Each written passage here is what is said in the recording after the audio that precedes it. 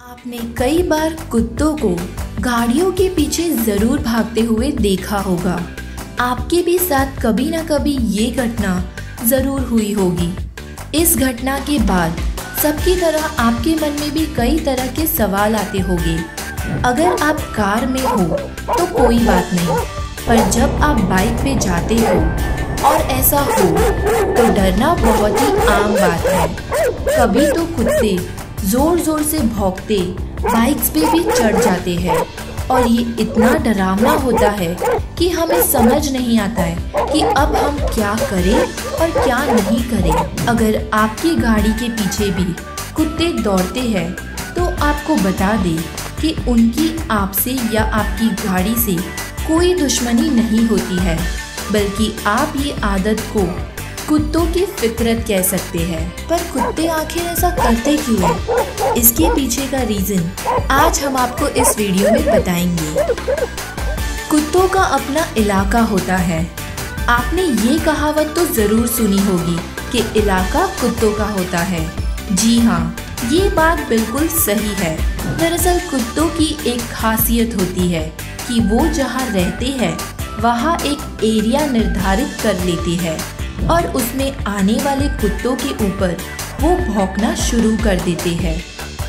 Area निर्धारित करने के लिए कुत्ते उस जगह पर पेशाब कर देते हैं। आप सभी को पता ही होगा कि कुत्तों की सूंघने की क्षमता तो बहुत जोरदार होती है और इसलिए कुत्ते अपने इलाके में पेशाब करते हैं और उसकी गंध से पहचानते हैं कि वो इलाका उनका है। इसमें आने वाले कुत्ते को इसलिए डराते हैं, क्योंकि वो किसी को भी अपने एरिया में नहीं आने देना चाहते हैं। तो अब आप ये सोच रहे होंगे कि कुत्तों का इलाका बनाना और गाड़ी के पीछे भागना, इन दोनों का क्या कनेक्शन है? तो चलिए वो भी हम आपको बता देते हैं। आपको बता दें कि जब कोई गाड़ी किसी कुत्ते के एरिया में खड़ी होती है तो वो उस गाड़ी में पेशाब ज़रूर कर देता है। जब वो गाड़ी चलती है और दूसरे कुत्ते के एरिया से निकलती है तो उस एरिया के कुत्ते इस गंध को सूंघ लेते हैं। तो उनको लगने लगता है कि किसी दूसरे एरिया का कुत्ता उनके एरिया में आया है, इसलिए कुत्ते गाड़ी पर भौंकते हैं। कुत्तों को हमेशा अपना इलाका उनके हाथ से जाने का डर रहता है। जब कोई ऐसी गाड़ी निकलती है, जिसमें किसी दूसरे कुत्ते के पेशाब की गंध होती है तो वो ये सोचकर डर जाता है कि कहीं उसके इलाके में किसी दूसरे कुत्ते का राज न आ जाए। इसी डर से कुत्ता गाड़ी के पीछे भागता है और भौंक कर उसको भगाने का प्रयास करता है।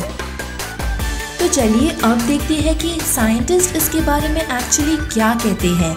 इस पर जब साइंटिस्ट ने रिसर्च किया तो वो भी इसी बात पर पहुँचे कि कुत्ते अपने इलाके को दूसरे कुत्तों से बचाने के लिए आप पर और आपकी गाड़ी पर भौंकते हैं और इसका और कोई मतलब नहीं होता है।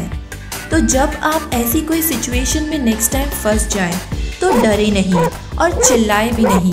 वहाँ से चुपचाप अपनी गाड़ी को निकाल ले। इससे कुत्ते को अपना खतरा कम होते हुए नज़र आएगा। और वो लोग भौंकना बंद कर देंगे। ओके गाइस तो आज के लिए बस इतना ही। आई होप आपको हमारा ये वीडियो पसंद आया। अगर आपको हमारा ये वीडियो पसंद आया तो प्लीज़ इसको लाइक शेयर और सब्सक्राइब कीजिए। Thank you